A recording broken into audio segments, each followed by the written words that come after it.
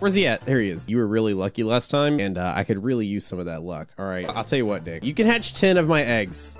All right, let's see how many you get with 10. All right, I'm just gonna sit and watch. I'm gonna look pretty. Um, how, do, how, do, how do you look pretty? Ah! Literally the first one! He's one for one. We batting a thousand. 100%, baby. Let's go. Give me those pets back. Jeez. And then he hatched one. All right, fine. I'll stand back. Nope, nope, nope, nope, nope.